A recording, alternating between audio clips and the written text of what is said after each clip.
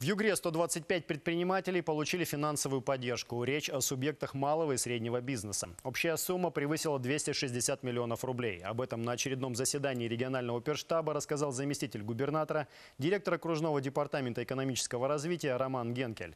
Так, 77 компаний получили кредитные каникулы, еще 24 одобрили микрозаймы. При этом Фонд содействия кредитования малого и среднего бизнеса, Югорская региональная гарантийная организация предоставили поручительство на сумму более 75 миллионов рублей, а также отсрочку уплаты вознаграждения по поручительствам семи субъектам малого и среднего предпринимательства.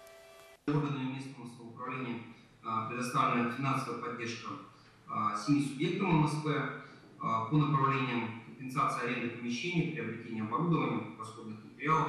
Ну, здесь, повторюсь, действительно отговорим просьба к коллегам с муниципальных образований договаривались на освещение в субботу, организовать конкурсные процедуры для доведения мер поддержки субъекта малого и среднего предпринимательства в срок до 15 апреля. Кроме того, Роман Генкель напомнил югорским бизнесменам, что на федеральном уровне действует программа кредитования по ставке 8,5% годовых.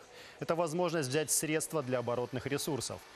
Предварительно программа будет работать до 31 марта.